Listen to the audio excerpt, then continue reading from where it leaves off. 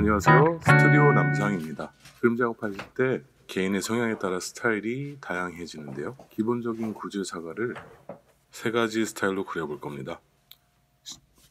먼저 그림 그리기 전에 사과를 관찰해 봅니다. 백설공주가 먹던 그런 빨간색 사과가 아니고 주황색, 노란색, 갈색, 연두색, 그리고 살짝 녹색 여러 가지 색들이 보이고 노란 점들 그리고 가는 선들이 많이 보이네요. 일러스트 느낌이나 artistic한 스타일은 기법도 워낙 다양하고 스타일도 워낙 많은데 일단 큰 느낌의 세 가지 스타일로 구분을 해봤습니다. 사과 스케치를 한 후에 초벌칠을 해주는데 그냥 보기에 사과는 빨간색이지만 빨간색부터 시작하면 노잼이니까 밝은 부분에선 빛이 환하게 많이 보이는 부분이니까 노란색이나 주황색부터 시작하고 뭐 이색저색도 살짝 보이게 위치를 해줄 겁니다.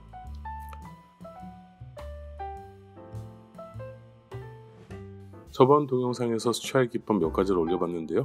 그 기법들을 사용해서 채색을 하시면 되고 밀칠할 때는 물감이 번지거나 흐르거나 자연스럽게 드라마틱하게 칠해주는 게 포인트입니다.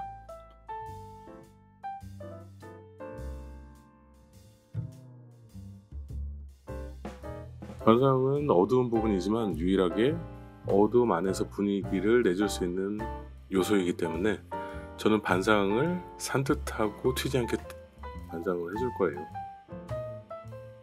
그림자는 그라데이션 느낌이 나게 얌전하게 칠해주면 됩니다. 반상황이 너무 무거워지면 그림이 칙칙하게 되니까 저는 살짝만 산뜻한 느낌으로 분위기를 줄 거예요.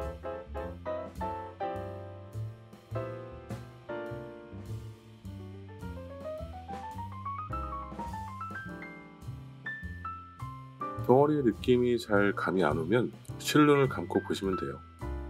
자, 지금 영상에선 살짝 블로우 처리를 했는데 실눈을 감고 보시면 전체적인 색감이나 덩어리감이 잘 보입니다. 자, 이렇게 초벌이 초벌이 완전히 마른 다음에 붓으로 묘사를 하면서 덩어리를 천천히 잡아 주셔야 됩니다. 여기서 중요한, 중요한 점은 이 밝은 부분에는 밝은 톤으로 마무리를 해주셔야 돼요. 이 밝은 부분에서 갑자기 어, 생뚱맞게 뭐 진한 진한 뭐 이런 톤이 갑자기 딱 올라가면 그림을 망치죠.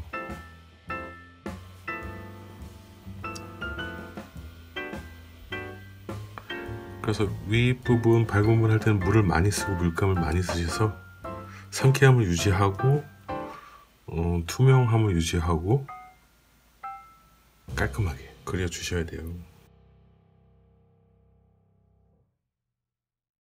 그리고 붓터치를 너무 작은 터치로 계속 만지다 보면 그림이 되게 지저분하게 보일 수가 있어요. 처음에 했던 것처럼 큰 터치 위에 시원시원한 느낌으로 크게 터치를 넣은 다음에 그 다음에 묘사하면서 작은 터치로 들어가시면 충분히 완성이 됩니다.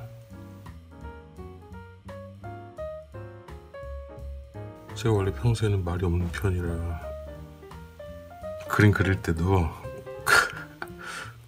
아무 소리도 안 하고 그냥 작업만 하는데. 제가 유튜브 이거 하면서 혼자 계속 떠들어야 되니까 뭐 할 말도 딱히 없고. 또 말을 하면 또 그림에 집중해. 집중이 안 되니까 한꺼번에 뭐 몇 가지 이러니까 정신이 없네.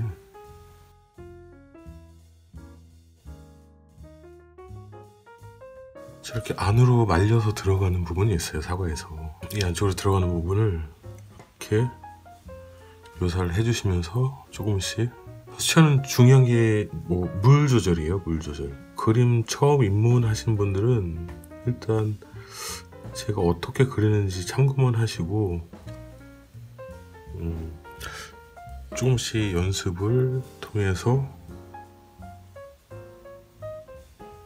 마무리를 하시면 좋겠습니다.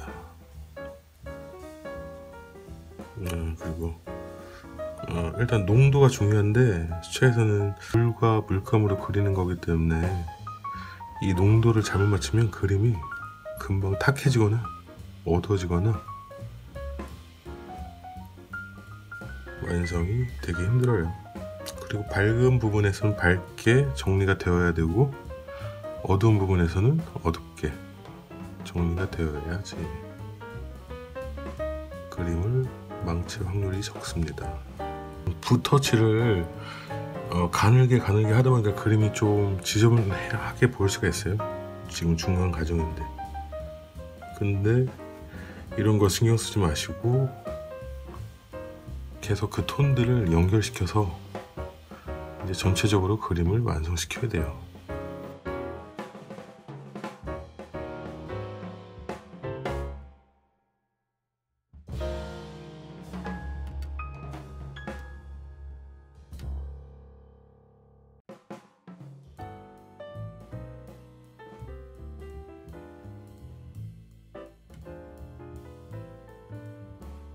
그림을 그릴 땐 너무 한 부분만 치중하지 말고 전체적으로 이쪽에 하다가 좀 어, 마를 때를 기다리려면 전체적으로 또 아는 부분들 계속 찾아서 완성을 해주셔야지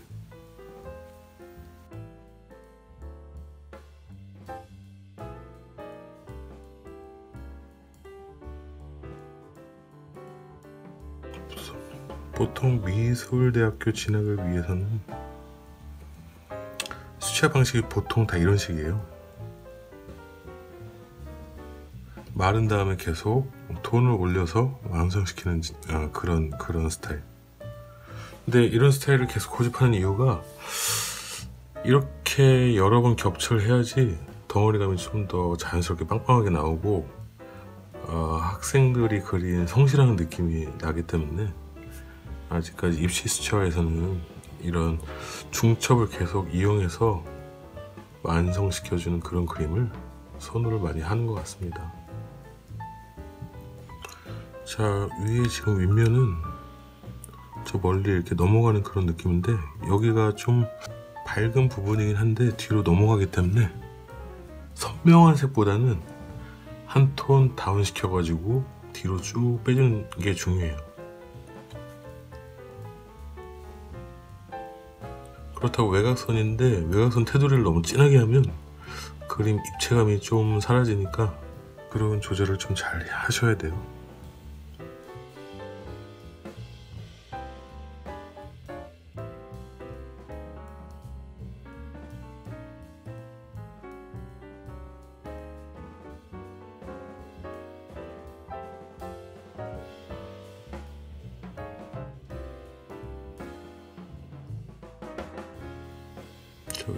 때는 계속 이렇게 얇은 얇은 느낌으로. 이 얇은 느낌이라는 게 그러니까 물감을 많이 쓰고 두꺼운 느낌이 아니라 물을 많이 써서 얇아지는 느낌으로.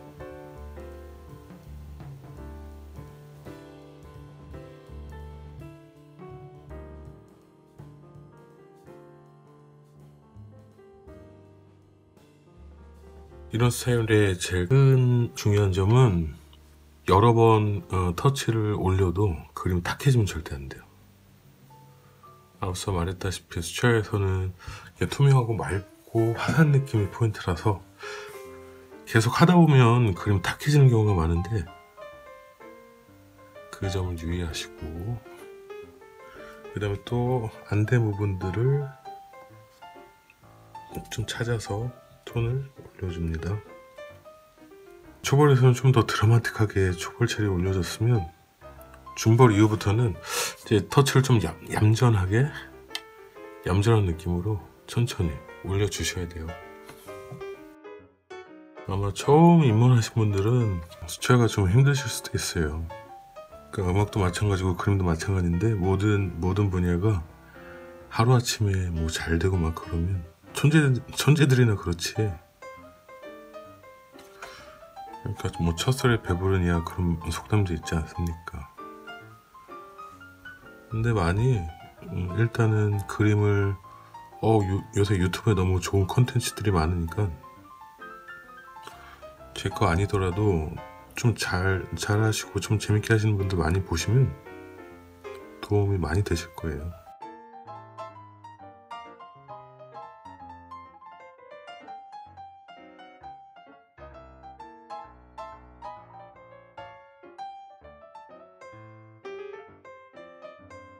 그림 그만하신 분들은 이런 거 보면 되게 힘드실 것 같기도 해요.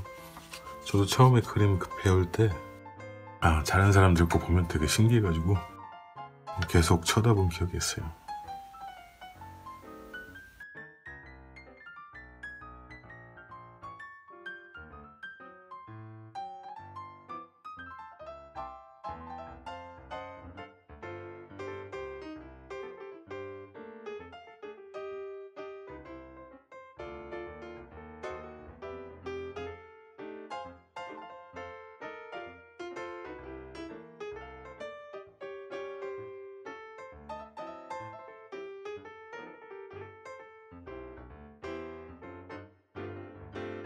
그림자는 좀 차분하고 얌전하게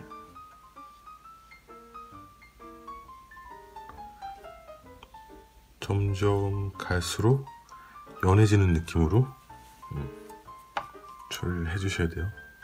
그래서 취하는 그림 완성했을 때 진짜 몇 터치를 제외하고는 물을 많이 써주시는 게 중요해요.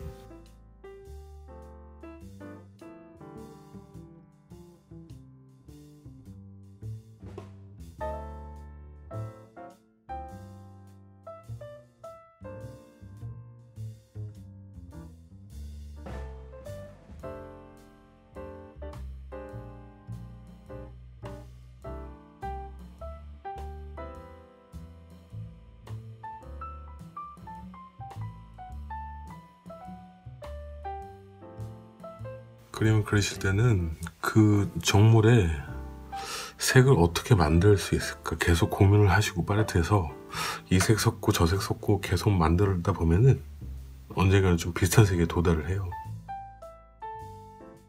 그 연습이 그래서 되게 중요한 것 같아요.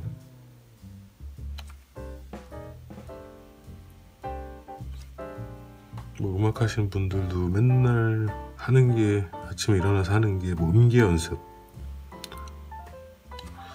진짜 잘하시는 분들도 그 음악 도레미파솔라시도 스케일 연습을 아침에 일어나자마자 연습하시고 계속 기본기 연습 많이 하신다고 그러더라고요.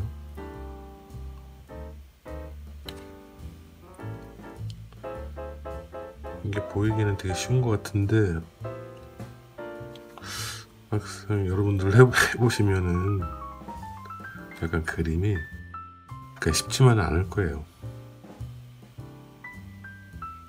옛날에 그 밤로스 아저씨가 뭐 이거 툭툭 하고 뭐 참 쉽죠 막 그런 말 하, 했잖아요.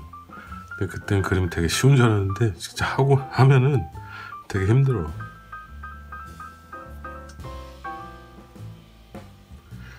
자 이제 다시 밝은 부분 돌아가서 묘사를 어색하지 않게 조금씩 더 만져 주셔야 돼요.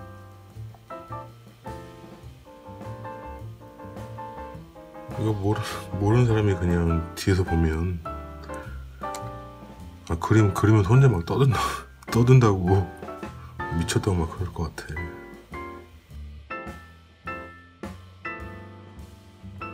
자 이런 하이라이트를 남겨주는 방법에는 어, 두 종류가 있는데요. 그러니까 지금 저처럼 이렇게 아예 하이라이트를 칠하지 않고 끝까지 남겨주는 방법이 있고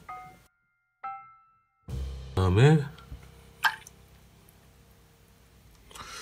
물감을 계속 칠하고 물기를 빼고 이렇게 닦아주는 방법이 있어요.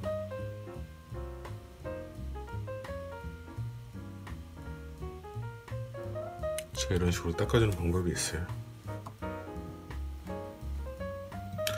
그래서 마음에 드는 걸로 여러분들이 하시면 됩니다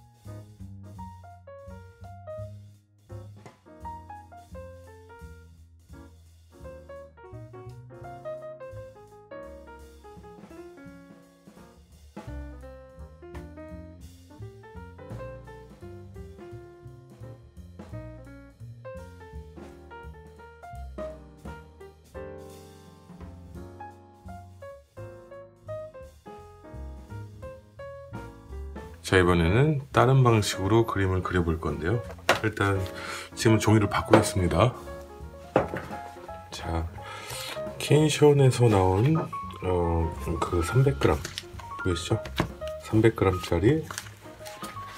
한쪽은 어, 수채화 일러스트 느낌으로 그림을 그려볼 거고요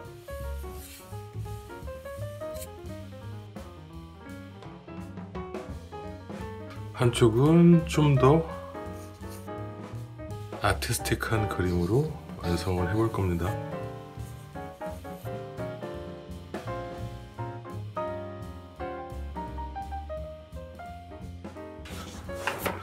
자, 수초 일러스트 스타일의 그림에서는 어, 좀 전에 보셨던 좀 사실적인 느낌의 표현보다는 단순화하거나 뭐 한 곳을 좀 더 부각시키거나 특징적인 거 부분을 살려주셔서 그림을 그려주는 게 훨씬 더 재밌어요.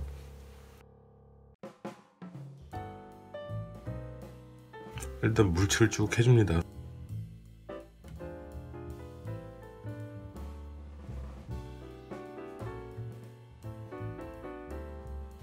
여러분들 와트만지라고 많이 들어보셨는지 모르겠는데 자, 이 종이는 수채화 전문 용지예요. 와트만지처럼 좀 약간 질감이 오돌토돌한 느낌이 있어요. 자, 일단 물칠을 먼저 해줬으면 저 사과를 색칠을 해보겠습니다.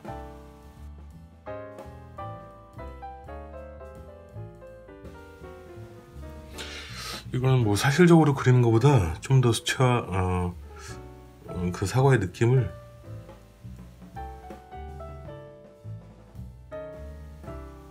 물 맛을 좀 더 표현해주는 느낌으로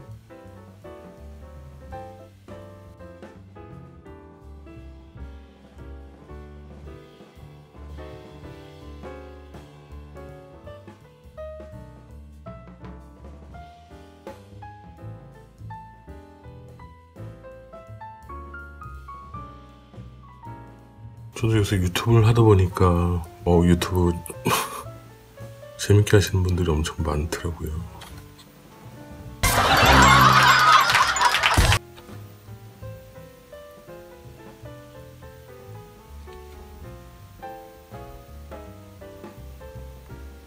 이걸 본 친구들은 어, 말 좀 좀 재밌게 잘하라고 하는데 뭐 이거 그리면서 혼자 뭐 얘기하려고 그러니까 혼자 벽 보고 얘기하는 그런 느낌인 것 같아요. 제가 또 막상 또 만나고 만나면 좀 재미지는데 이렇게 또 혼자 혼자 그리면서 이렇게 말하는 건 또 어 이게 뭐 체질이 좀 맞진 않네.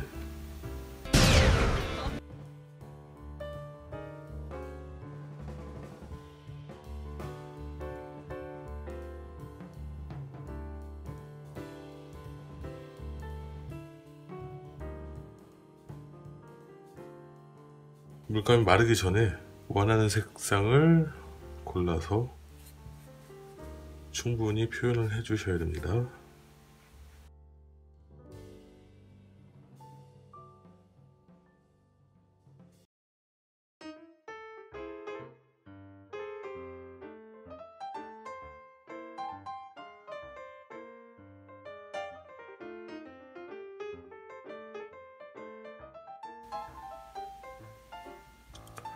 자 하이라이트 부분을 이렇게 마르기 전에 닦아주시고 어두운 부분도 마르기 전에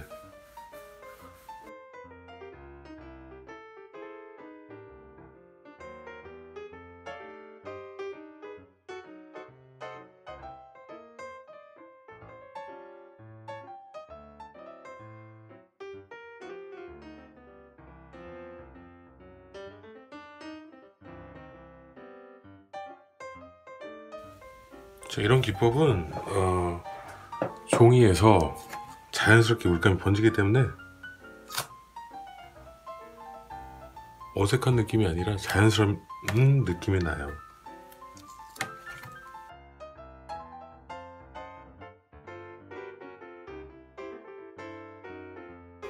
자 저는 여기에다 좀 닦아내고 반사한 느낌을 살짝 내보도록 하겠습니다.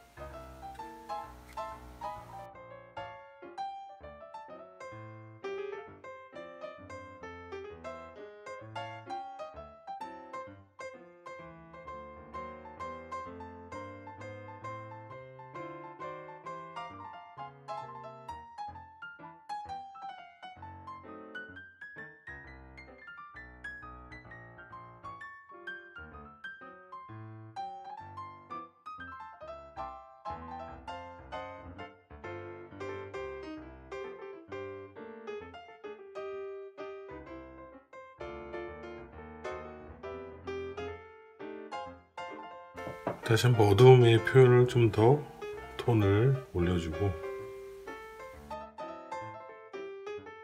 아직 물감이 마르지 않은 상태여서 이렇게 어두운 톤을 올려도 자연스럽게 번지기 때문에 두려워하실 필요가 없어요.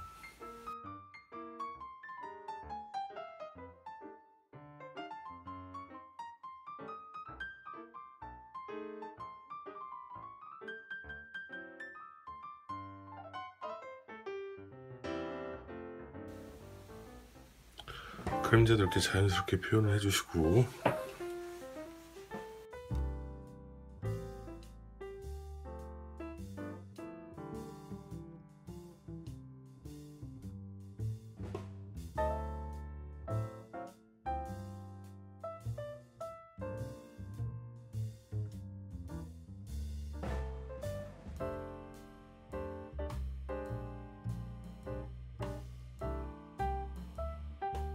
이제 이런 꼭지는 좀 더 포인트를 잡아주시고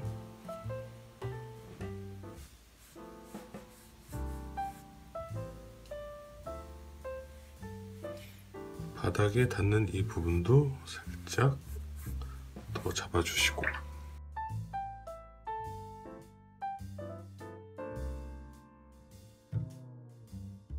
자 이번에는 좀 더 아티스틱한 사과를 그려볼 건데요.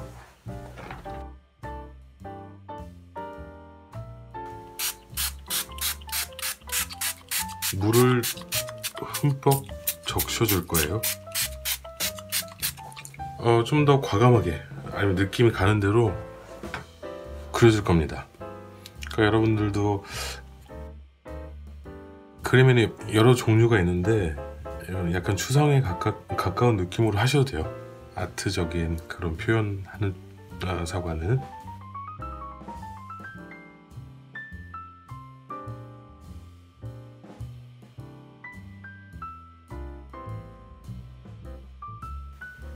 어, 물감이 뭐 여기저기 뭐 쭉 퍼지는데 상관하지 마세요.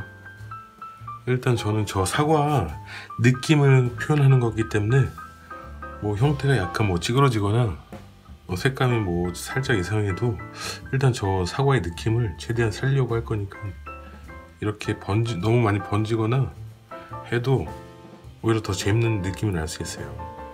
그런 거 너무 겁먹지 마시고 표현을 해주시면 돼요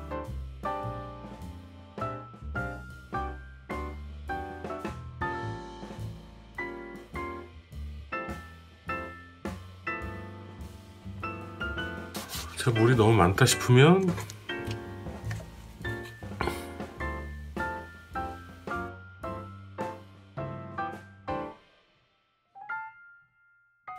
음, 화장지로 물기를 닦아주시면 됩니다.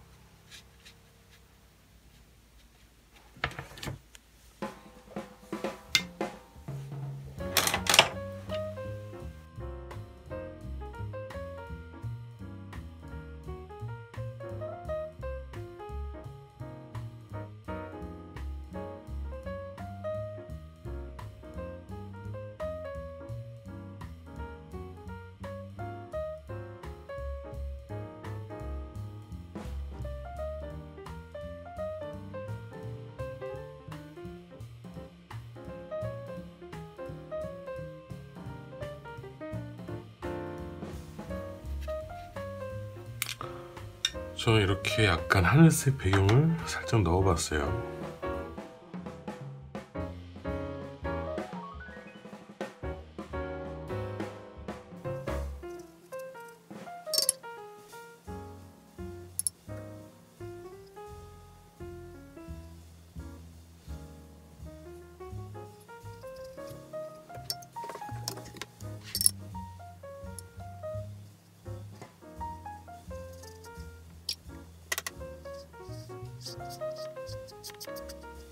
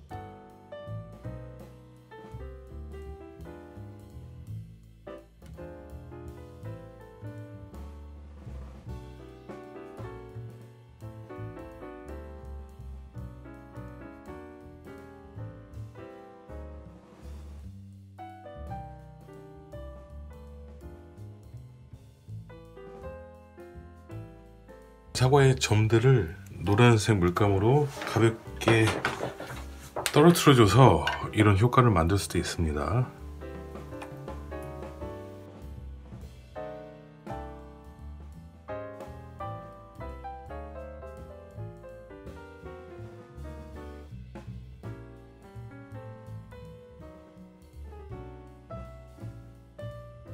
자 이렇게 사과를 완성했습니다.